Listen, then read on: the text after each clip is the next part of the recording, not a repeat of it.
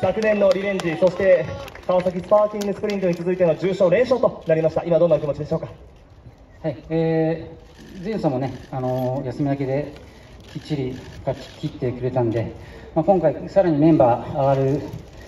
重賞だったんですけども、まあ、前回よりも、あのーすごく状態もよく、陣営が送り出してくれたんで、自信を持って騎乗できました。今日も見逃しが早く先行していきました。あの辺りどうでしょう？イメージ通りですか？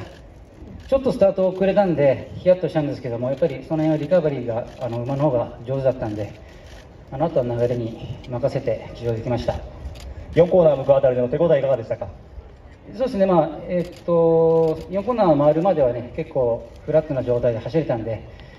まあ、ちょっと深い船橋の馬場がどうかと思ったんですけども、最後までしっかりあの走り切って、あのまあ頑張ってくれました。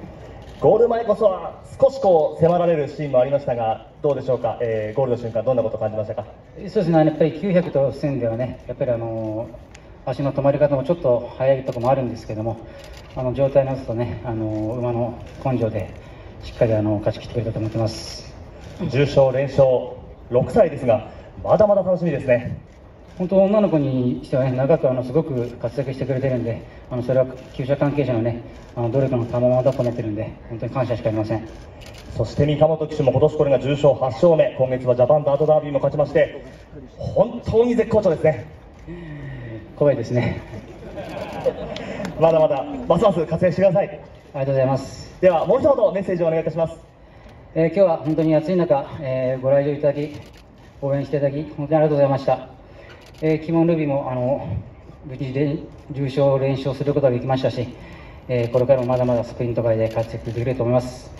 えーまだまだ次は続きますが、えー自分たちは一生懸命頑張って、それに負けないように、え白熱したレースをしたいと思ってますので、これからも応援よろしくお願いします。今日はありがとうございました。